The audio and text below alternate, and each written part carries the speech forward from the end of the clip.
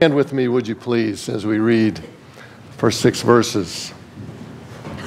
John 4, uh, Luke 14, verse 1 on one Sabbath, when Jesus went to dine at the house of a ruler of the Pharisees, they were watching him carefully. And behold, there was a man before him who had dropsy. And Jesus responded to the lawyers and Pharisees, saying, Is it lawful to hear, heal on the Sabbath or not? But they remained silent. Then he took him and healed him and sent him away. And he said to them, Which of you, having a son or an ox that has fallen into a well on a Sabbath day, will not immediately pull him out? And they could not reply to these things. Father, we ask, would you please clarify this word to us today? Help us to know what it means, and then help us to know how you would have us apply it to our lives. We pray this for the name and for the sake of our Lord Jesus Christ. Amen. You may be seated.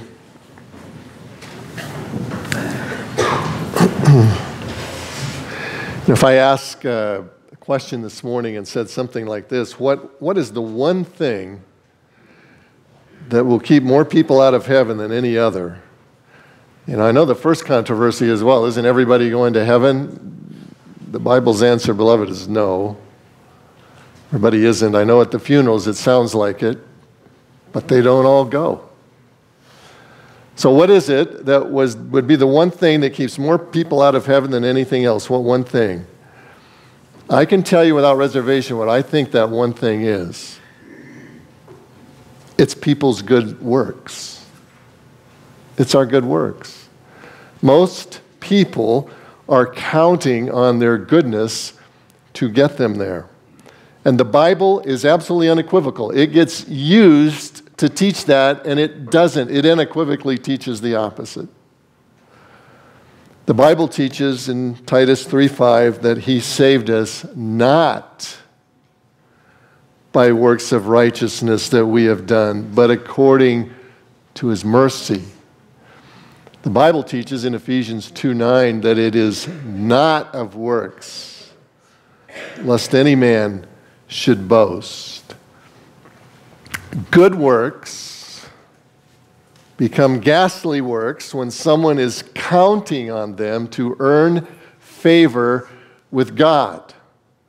So, if you want to think of it that way, the title of the sermon is Good Works or Ghastly Works. The truth is, they're the same thing.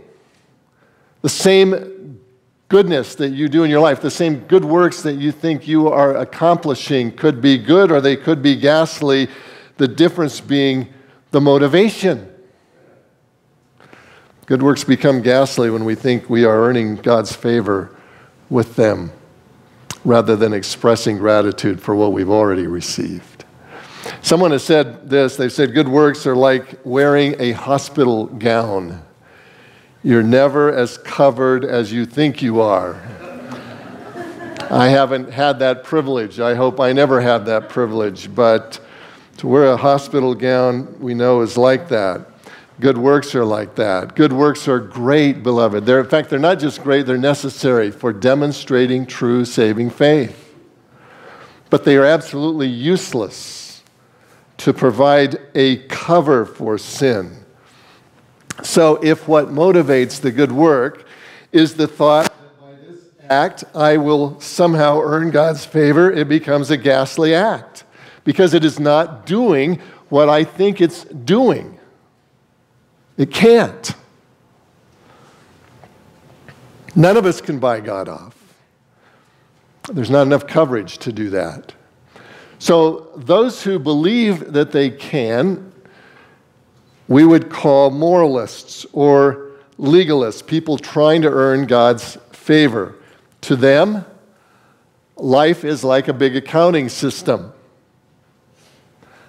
I do good things in order to put God under obligation to me. When I kind of step off the wagon for a little bit, I lose points but I earn them back by doing extra credit later on. You see this system, right? I dare say it's been a part of many of our thoughts for a long, long time. But that's moralism, the belief that somehow I can make God owe me something. And that's the problem that Jesus is addressing in this passage. He's addressing the problem of moralists, and what he's trying to show them is that they always come up short. Their books are going to say one thing, God's books, which are the only one that counts, God's books say something entirely different. And so it's so important to understand the solution to sin is not moralism. The solution to sin is repentance. To throw ourselves on the mercy of God, not to think we can earn the mercy of God. Now, in this passage, to help us understand that basic truth, three ways in which moralists fall short. Three reasons that moralism is deficient. Number one, moralists lack comprehension. Moralists lack comprehension.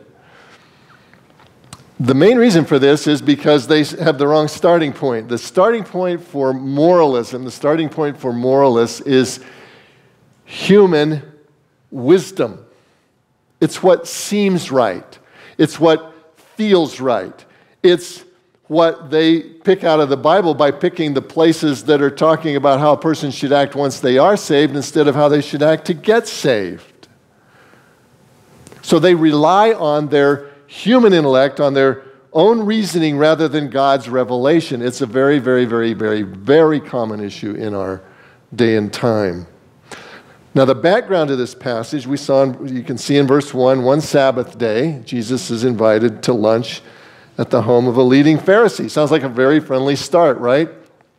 I want you to notice, as we've seen throughout the book of Luke, Jesus often went to lunch at the home of the Pharisees, these ones who were increasingly more in opposition to him. He was taking the gospel where it needed to go the most. And so he welcomed any opportunity to come. Now, almost always the meal turned antagonistic before it got all done because he was always faithful to the truth. But he goes to this lunch, and it sounds like a friendly start. Jesus invited, he goes, it's all nice and warm and cozy, right? But ominously, at the end of verse 1, we see this they were watching him carefully. So the first question that pops into our mind is they who? And it doesn't really tell us, Bible doesn't really say, so we could surmise that it's other Pharisees or like-minded friends of this man who has invited Jesus to come for lunch. They are watching him carefully. Now, why are they watching him carefully? Because they revere him? Quite the opposite. Quite the opposite. The context here helps us understand this because, see, Jesus, Jesus is just, we've just seen at the end of chapter 13 how Jesus was mourning over the city of Jerusalem. Brought tears to his eyes as he thought about what, how he wanted to gather them and they would not, how they were rejecting him, how they were rejecting his message of repentance. And so, after Luke has given us that account, he gives us a real life example of that. Do you see? That's why the context always helps us understand what's going on. Here's a real life example of rejection leading to destruction. So when Luke says they were watching him carefully, and the word carefully there means ominously or skeptically or lurkingly, they were watching him carefully. It's not for a good purpose, it's a trap. And in fact, the very next verse helps us understand by what means they hoped to trap him.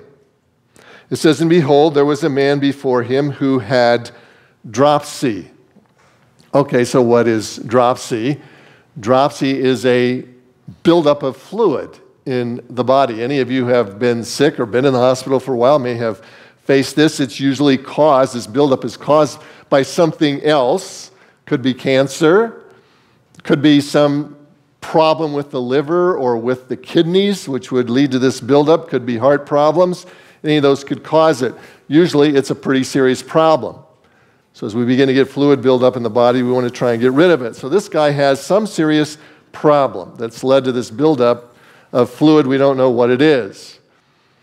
Next question is well, was he an invited guest or was he just one of those, as, as we've seen before? It wasn't unusual for the average citizen to come when they knew there was a big feast, a big banquet going on at someone's house. A bigwig in the community who had a big courtyard, they could come and they could actually sit in the courtyard and kind of observe the banquet, listen in on the conversation. I guess this is what you did before television. I don't know. To go to these banquets. And so he that people would routinely do this, and perhaps he's that way, or perhaps, and I think more likely in this case, he's actually been invited to this party because they have a purpose for him. What they're doing, either way, whichever is correct, whether he's invited or not, the Pharisees, when they see him, they spotlight him. They put him somewhere where Jesus can't miss him.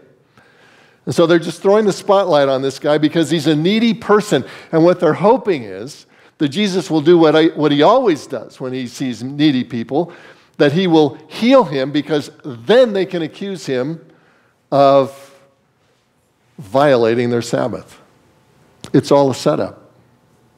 They want to see Jesus do this so that they can accuse him of violating the Sabbath regulations. Jesus sees right through the ruse. In one way, it's not that hard. Jesus knew the theology of the Pharisees, and he knew that their theology said if somebody has a disability like this, it's because they have done some sin. There is something wicked in their life. That's the only reason that this would happen. So they were not routinely invited to the parties of the Pharisees. So when Jesus sees that this man is not only here, but he's being accepted, in fact, he's being more or less thrust forward, it doesn't take long to understand what's going on. Jesus sees right through them, through him. They've placed him so that Jesus will do what they think Jesus will do. And of course, Jesus does. Jesus sees with compassion. They were right in that identification of Jesus. Jesus is compassionate. They're seeing nothing but rules. Jesus sees human need. That's one way you can tell a moralist, by the way. It's one way you can examine your own heart. Are you, are you a rules oriented person or are you a people oriented person? Now, we're all different. And I'm not suggesting we should all be exactly the same, but beloved, when it comes to human need, that takes precedent over the rules. That's how you know whether there's a moralist here, but that's how these guys have set the trap, because they're just moralists. Even as they're passing the potatoes, they're watching carefully to see what Jesus is going to do, hoping against hope that he'll do what they think he will do. So then we get to verse 3. We get to verse 3, and it says, And Jesus responded to the, to the lawyers and Pharisees. Jesus responds to what? No, nobody's said anything yet. Not that we know of, not that's given in the text. So, what is it that Jesus is responding to? Well, what he's responding to, beloved, is the situation. He's responding to what he sees as the trap that they've intended. And in one question, he's going to absolutely dash their hopes. Jesus responded. And they were not going to like the response that he gives because look at the question. He says, Is it lawful to heal on the Sabbath or not? He knows what they expect of him. He knows why the man has been put there and spotlighted for him. He knows why this has been set up for him. And so he says, I think I'll ask a question. Is it lawful to heal on the Sabbath or not? He doesn't ask, is it a compassionate thing to do? That could have led to a long argument, but he just says, is it lawful? That's kind of a yes or no answer, right? Is it lawful? And their response is very telling. What's their response? They remained silent. Why did they remain silent? How come they have no response to his question? That's pretty obvious, isn't it? Jesus has put them on the horns of a great dilemma. If they say, of course, it's lawful to heal on the Sabbath, then they have no recourse when Jesus heals the man. They have nothing they can say, right? They've already agreed that it would be okay. But if they say, no, it's not lawful to heal on the Sabbath, now they're the bad guys, And Jesus, who they were trying to put on in a bad light, turns out to be the good guy. Jesus had him in a great bind already. But, beloved, the, the, the bind goes even deeper than that, really.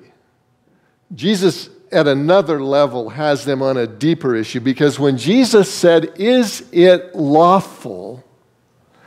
they understood, and everybody who was there understood that, Jesus was talking about, Is it lawful according to the law of God? According to the law of God given through Moses, written down in the Torah, the first five books of the Old Testament as the Jews understood it, is it lawful there to heal on the Sabbath? Does God's law have anything to say about that? And also, everybody there knew no, the law doesn't have anything to say about that. The law doesn't define healing on the Sabbath as being wrong. There's nothing in the Mosaic law given by God to prohibit someone from healing on the Sabbath. Nothing.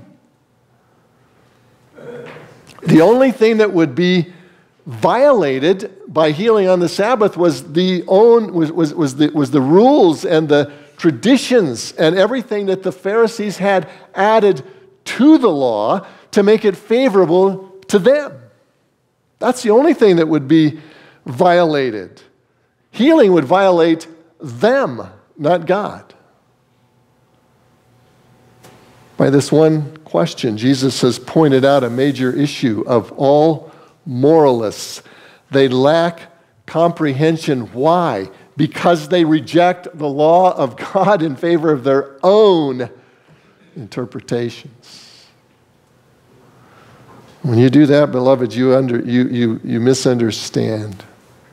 You lack comprehension. You, ca- you, you lack understanding. That's what the, why the New Testament so often speaks of those who are outside of Christ being blinded. They can be the most brilliant person in the world, but if they do not have the Holy Spirit ministering the Word of God to them, they are blinded. And that's the state that these Pharisees were in. For them, it's about a religion that they have defined, not about a revelation that God has defined, a relationship that God has defined. They turn God's word into a list of do's and don'ts. That's all it means to them. It's all about outward compliance with this great list that they've created rather than the living invitation that the Bible has always been intended to be. Now, some of you may be saying, well, wait a minute. Aren't the Ten Commandments in the law of God? That sounds kind of like a list, doesn't it? And the answer is yes, of course. It is a list, and it is in the law of God. But, beloved, that list was never given in order to save anyone. It was never given as the means by which we would come to salvation, which is what the Pharisees were treating it as. And the reason they were making their own traditions is because they knew they couldn't keep those Ten Commandments. So they defined them in ways that they could keep them. But that's not why they were there. They were there in the first place to point up the need for salvation. They were there to point out the fact that we can't keep them. They were there to point out that we fall short of God's character and God's glory because the Ten Commandments were never just a list, they're a definition of God's character. God didn't sit down one day and say, I think I'll make up this list. He sat down one day and said, I think I'll explain to men who I am. That's what they're about. And they missed all of that. They lack comprehension. Turn to Galatians 3 with me. Galatians 3. If you're in Luke, you go to John, Acts, Romans, 1st, 2nd Corinthians, and then Galatians. Galatians 3. Galatians 3. Here's what the Bible has to say about the list. See, the Bible never, ever says, be saved by keeping this list. It's not there. It's not what it teaches. In fact, it teaches exactly the opposite. Look at this in Galatians 3. Let's read verse 10. Galatians 3 and verse 10. Paul says this He says, For all who rely on works of the law are under salvation. Is that what it says? It says if you, want to, if you want to rely on the works of the law, you're under a curse. You're under a curse. And then he explains why. He says, For it is written, Cursed be everyone who does not abide by all things written in the book of the law and do them. What he's saying is, you, you, if you want to rely on works of the law, good luck, because all you have to do in order to be saved is keep them all perfectly, all the time, never a mistake. Which means that by the time you read this, you're already sunk, right? Because you've already failed the law time after time after time after time. Those who will be saved by keeping the law are under a curse. You don't get saved by keeping the list, beloved. You get cursed by keeping the list for the wrong reason because you can't do it. But the moralist never delves deeply enough into the Word of God to figure that out. He never allows himself to be available to the Holy Spirit to open the Word of God to him so he can know this. He never realizes that he is most cursed, not by his wickedness or sin, but by his goodness. Let me say that again. He doesn't realize, the moralist doesn't realize that he is most cursed, not by his good work, uh, bad works, but by his good works. You say, how could that possibly be? Motivation. If the motive for good works is to earn God's favor, you have a ghastly work on your hands. Here's what the Bible says, Romans 3 24. If we can't be saved by keeping the law, then how are we saved. Romans 3:24. Paul says this, he says we are justified, declared righteous, saved, any one of those terms you want to use, redeemed, we are justified by his grace as a gift through the redemption that is in Christ Jesus. It's not a redemption that's in you or a redemption that's in me. It's a redemption that's in Christ Jesus. And the way I get it is by as a gift of grace. I love how the King James phrases this. It says, We are justified freely by his grace. Freely by his grace. Someone says, But I must have to do something. Surely I have to be you know, holy for, if, if I'm just holy for most of my life, surely that will be good enough. And the Bible says, no, it's freely by His grace. Someone says, but I know deep within me that I have, to, I have to be good. That's what I have to do. If my good, if I can just make my good outweigh my bad, if I can just do more good things than bad things, then I'm okay. And the Bible says, no, it's freely by His grace. Someone says, if I just go through this ritual, if I just do this thing, if I just get on my knees and go from the 900 miles from wherever it is in Spain that people go on this pilgrimage, if I just do that, and the Bible says, no, it's freely by His grace. So hard to get through.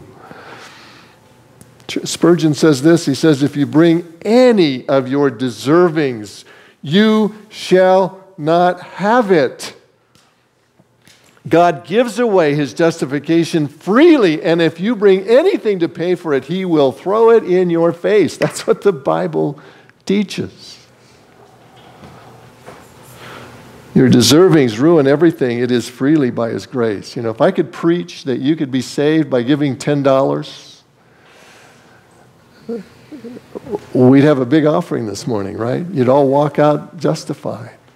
If I could preach that you would be saved by walking 100 miles, you'd start this afternoon, would you not? If I preached that you could make heaven by going through some prescribed ritual, name whatever one you like, you'd line up right now to go do that thing, right? But why is it when the Bible says freely, freely, freely, freely by His grace, people turn away? I don't know. But I know it's a form of moralism because moralism says I have to earn it. Moralism says I can put God under my obligation. I can under, under, under obligation to me. I can make an account sheet that says I'm more good than I am bad, and God's going to have to accept that. And moralism kills for lack of comprehension because that's wrong. Moralists lack comprehension. Secondly, moralists lack compassion. Moralists lack compassion. Some of us, unfortunately, even as believers, are more moralists than we realize. We lack compassion. The Pharisees have no response to Jesus' question, so Jesus goes ahead and heals the man. And then he sends him on his way. He's been used enough, he's been humiliated enough. Jesus graciously excuses him from this company but knowing full well that the Pharisees are going to be offended by what he's just done. He has another question for them. This one is intended to demonstrate and to show the hypocrisy that's part of who they are. And so he, he says this in verse 5 He said to them, Which of you, having a son or an ox that has fallen into a well on a Sabbath day, will not immediately pull him out? And they could not reply to these things. No reply. Why? Because they knew he was right. He was right. Jesus' point is that despite their long list of do's and don'ts, which they willingly apply to other people, they give themselves waivers. They get free passes. So they apply little things to other people. For example, they told the tailor, you, you cannot work on the Sabbath, and that means you can't even carry around the pins that you pin cloth with on the Sabbath. Can't do that. That's work. There'll be no working on the Sabbath. There'll be no carrying pins around. There'll be no travel on the Sabbath. That means 200 yards away from your home. There'll be no travel. You cannot leave home. There'll be no cooking for the housewives on the Sabbath. You got to fix it all the day before whatever in order to get around that. But, you know, if we have a, an ox or a child fall in a well, we can do that. Well, wait a minute, isn't that more work than cooking a meal? Isn't that more work than carrying around this little pin? Yes, but this is for our benefit. They were hypocrites. What Jesus is pointing out is the hypocrisy of their system, that for their own benefit, if a son or an ox fell in a well, they would pull him out. Open wells were a constant problem in that ancient country. A child or even an animal seeking water might easily fall into one. Would it be work to get them out? Could be, could possibly be pretty intense work to get them out. I mean, a child is one thing. Imagine pulling an ox out of the well, right? A lot of work attaches to that.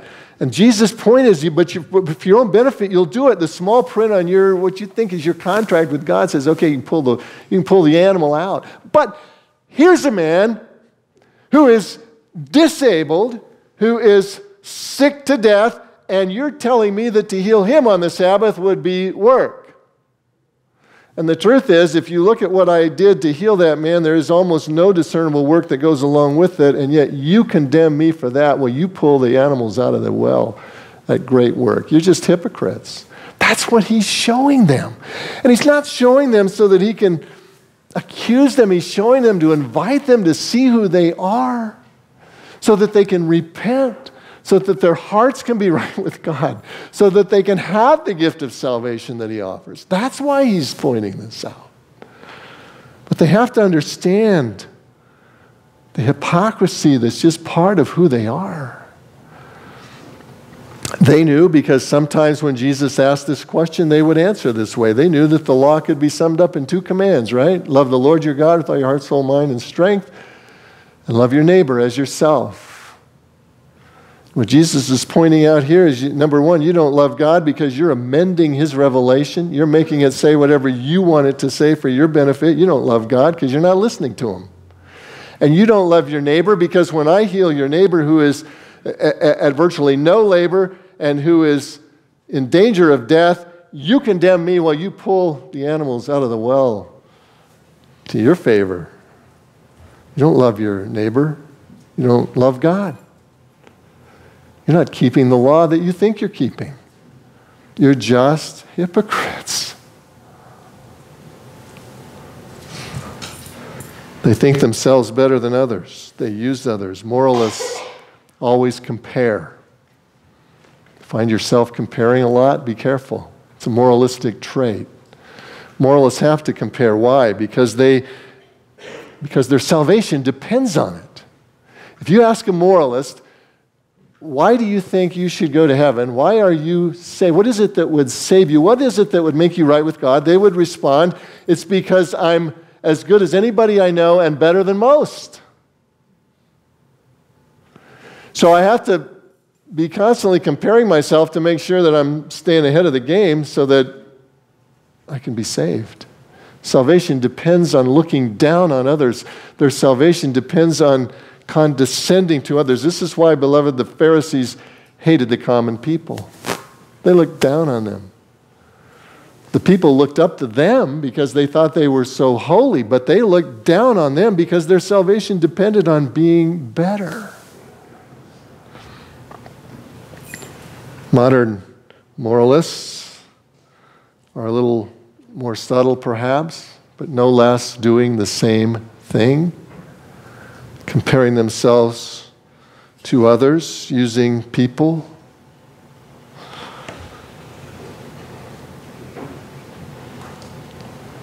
more or less lack compassion. There's a um, computer science professor, his name is Randy Pausch. He writes articles every once in a while. He's kind of renowned within his field, very smart guy. So naturally, he's a PhD.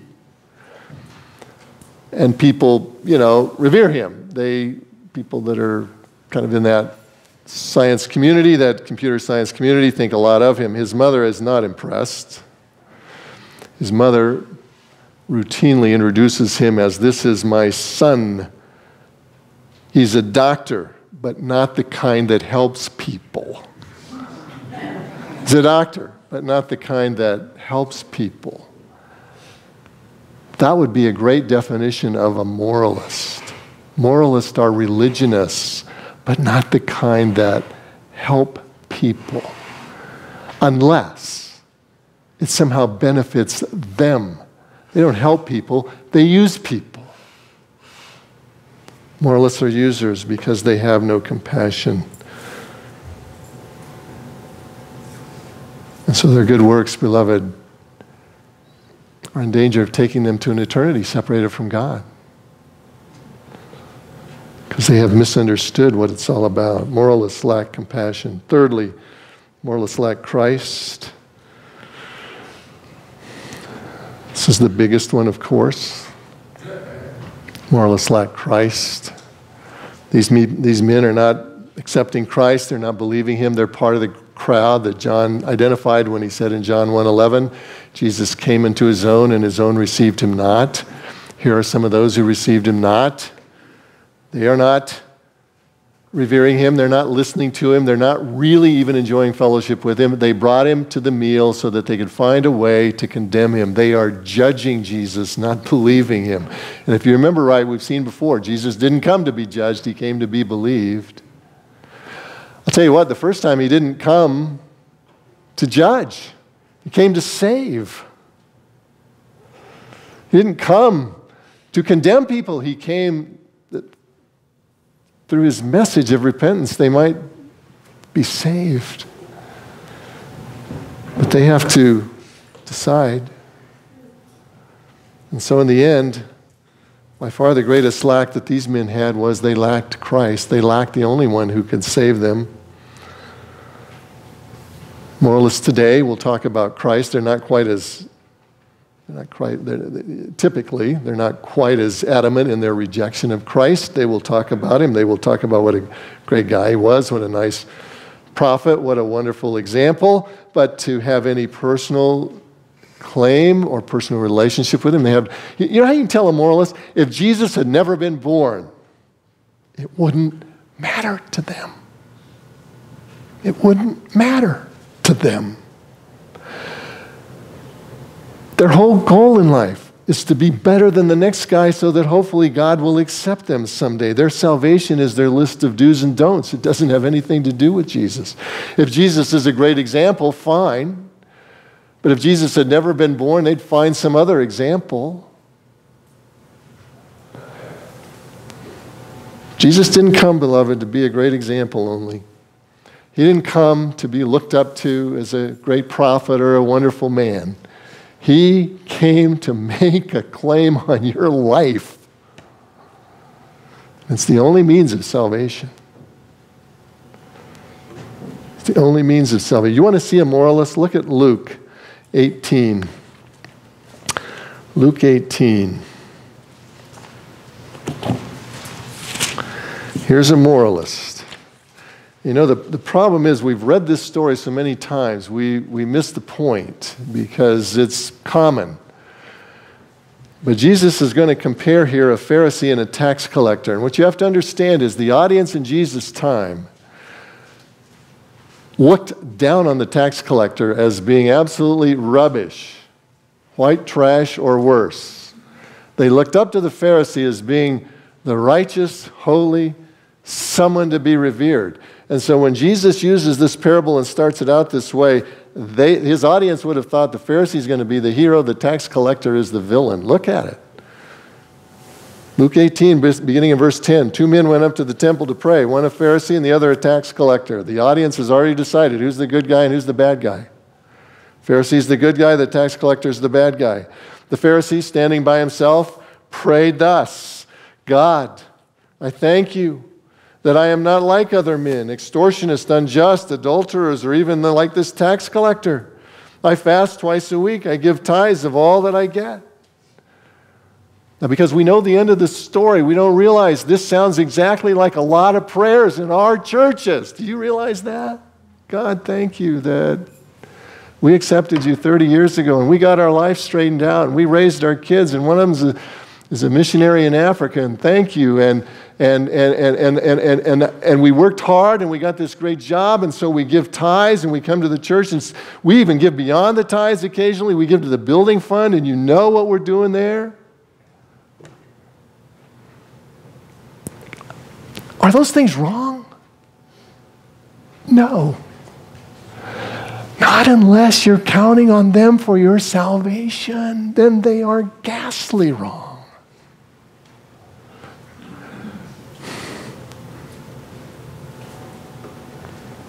We think we're not Pharisees. I'm not sure. Look what verse 13 with the tax collector standing far off would not even lift his eyes to heaven, but beat his breast, saying, God, be merciful to me, a sinner. And look at Jesus' verdict. And I tell you, this man went down to his house justified rather than the other. Who got saved? Not the guy who did everything right, not the guy who thanked God but then listed his list of credentials. God wasn't saved. Guy wasn't justified. Thought he was. Society thought he was. Everybody thought he was. But who was justified? The guy who never got anything right. But the guy who threw himself on God's mercy. He got Christ. The other one went away open handed, uh, empty handed. Do you have Christ? That's the question.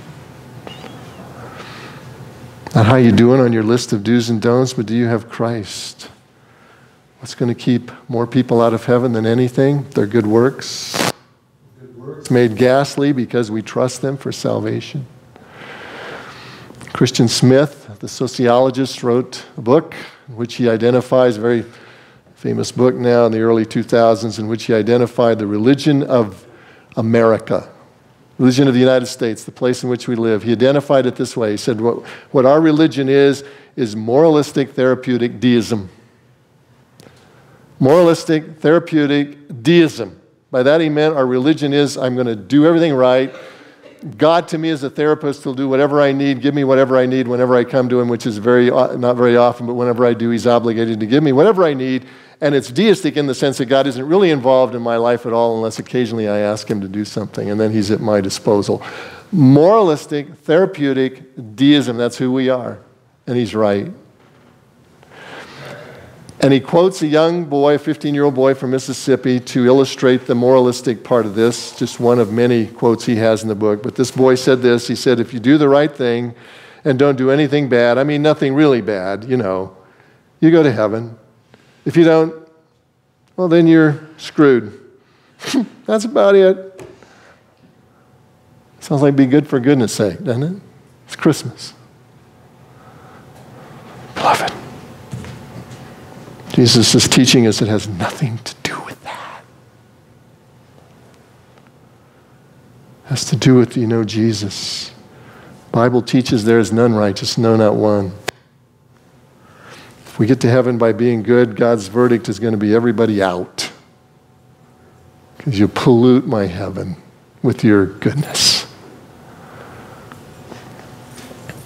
Thankfully, Jesus came to fix what we can't, right? Sign in a plumber's office said, uh, said we fix what your, we repair what your husband fixed.